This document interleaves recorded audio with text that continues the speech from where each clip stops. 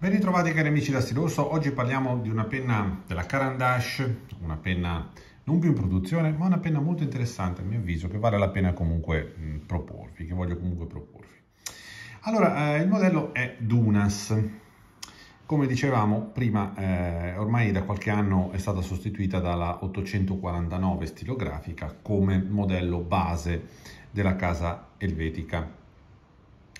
Eh, qual è la particolarità di questa penna? Che eh, innanzitutto ha delle forme abbastanza inconsuete, nel senso che è una forma esagonale, eh, l'esagono che è un po' diciamo il mantra della casa svizzera, che però sul, sul fondo diventa tondo, quindi una ricerca abbastanza particolare delle forme da parte di Carandache. La sommità del cappuccio eh, riporta il marchio Carandache. Eh, la clip com'è? Beh, la clip mm, è parecchio, parecchio rigida. Ma cos'è la parte veramente interessante di questa penna che me la fece comprare diverso tempo addietro? Il gruppo scrittura, perché andiamo un po' a vedere da vicino com'è questo gruppo scrittura. Eccoci qua con il pennino. Vi ricorda qualcosa questo pennino? Beh, ve la faccio breve è lo stesso pennino montato sulla sorellona maggiore, la Ecridor, penna però di ben altro lignaggio. Nel frattempo sono cambiati alcuni dettagli, come il logo del brand, Carandash che adesso è diventato un semplice esagono, anche l'alimentatore è leggermente diverso, ma parliamo di differenze minime. Quindi è lo stesso gruppo scrittura della Ecridor, una penna che costa molto molto di più. Il, la sezione, come vedete, sulla Ecridor metallica, qui plastica, da diametro anche un pochino maggiore, quindi si prende un pochino meglio questa penna qui. E io non l'ho fatto, ma penso che i pennini siano facilmente eh, intercambiabili. Quindi, quanto costava questa penna? Questa penna costava circa 70 euro e, e la motivazione del prezzo può essere data dal fatto che, come dicevo, il gruppo scrittura è di qualità um, identica a quella della Ecridor, penso sempre un Bock numero 5, e però migliore rispetto a questo della Carandash 849 che l'ha sostituito. Mm? Pennino di forma, geometria completamente diversa. Ok? Quindi ecco spiegato il motivo del costo, a mio avviso, leggermente superiore. Mm? Eh, I materiali come sono? I materiali non sono il massimo della vita, mm, soprattutto mm, cosa non è il massimo della vita? Il cappuccio, che è un cappuccio di plastica stampata abbastanza eh, misero, e anche la clip è abbastanza misera. Il fusto invece è metallico.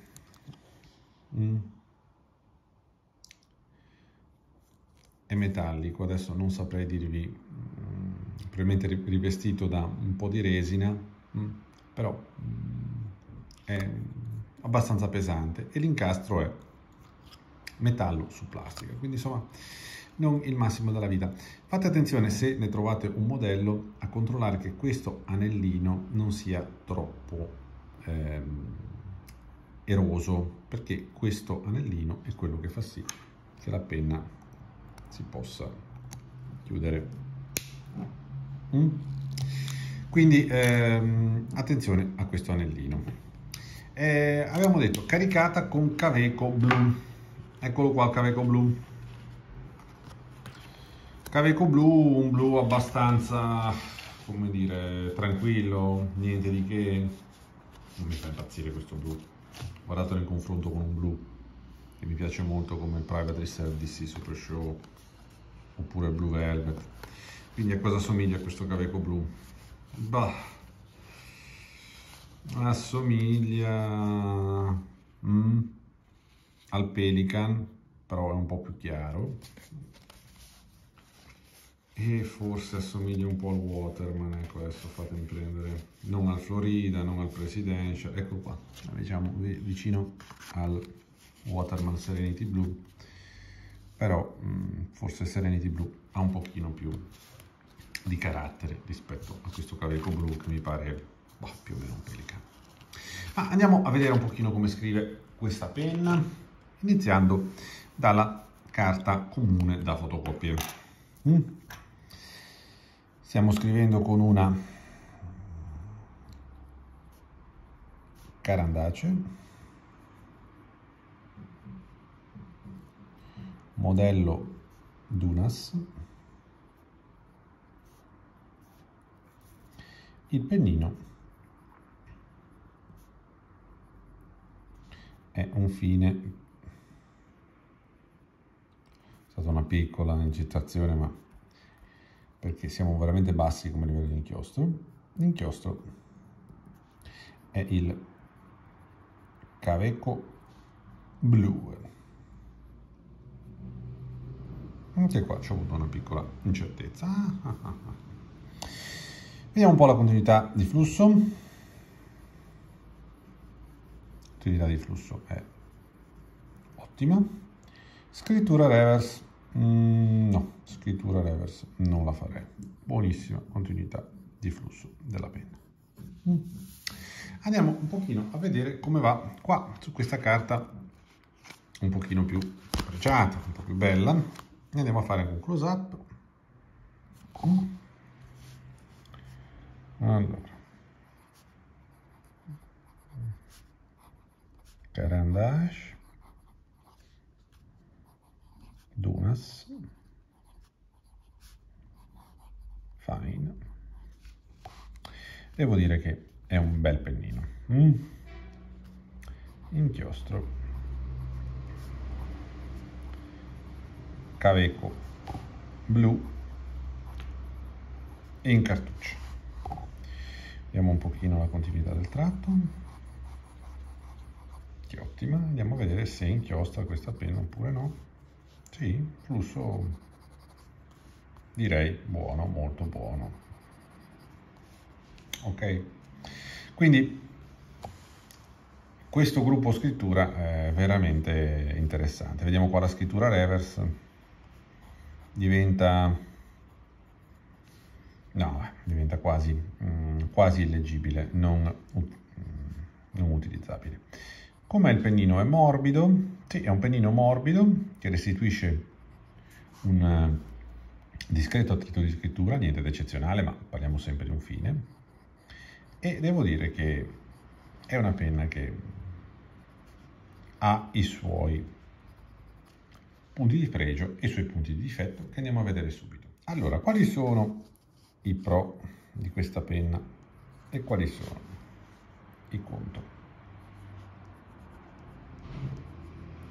Perché eh, ci sono dei pro molto interessanti e dei contro mh, mm, altrettanto pesanti.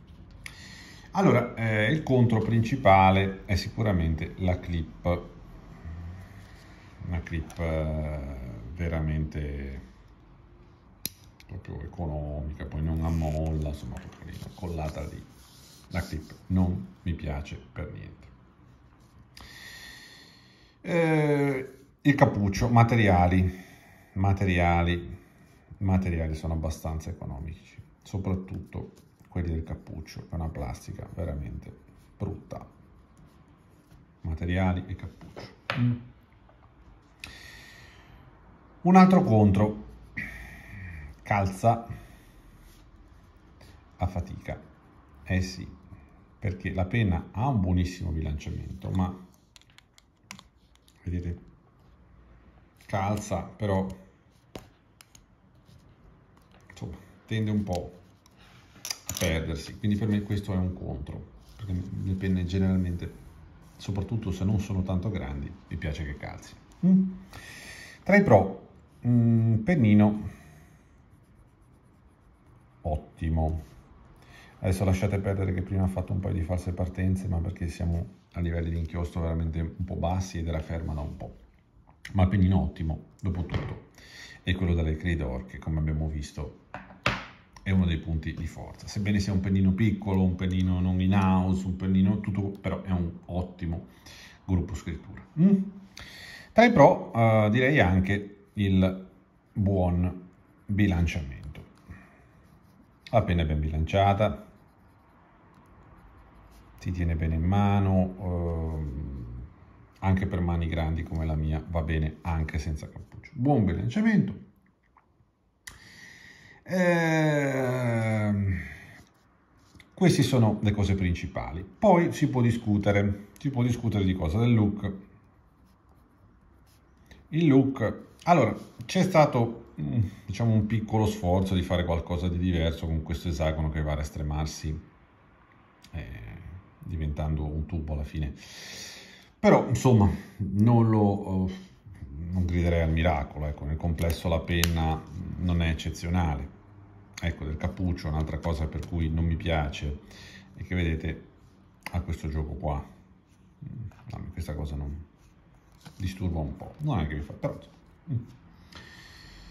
quindi è una penna che eh, vi consiglio se trovate sul mercato dell'usato a un buon prezzo ossia la metà di quello che era uh, venduta uh, al pubblico perché può essere un buonissimo uh, modo per capire se ci piace eh, il gruppo scrittura dell'Ecridor.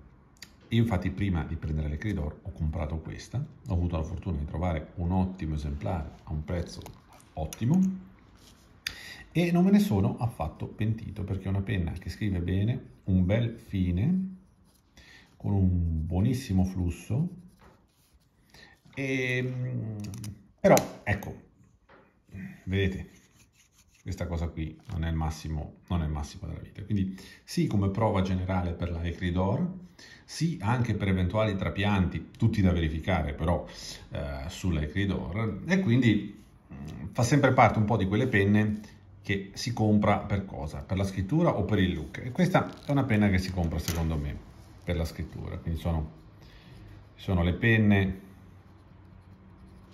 le penne belle, Mm, le penne italiane, oppure le nibs pen, le penne, chiamiamole così, che si comprano per le qualità del pennino. Ecco, questa si compra, ehm, si compra per il pennino, non si compra per l'estetica. Bene, spero di esservi stati utili, eh, iscrivetevi al canale, fatemi sapere se anche voi avete mai eh, avuto per le mani una di queste Dunas, qualcuno nuova se ne trova ancora, ma veramente molto poche. E iscrivetevi al canale, mettete mi piace, aiutateci, insomma, un grande abbraccio e alla prossima da Steve Orso.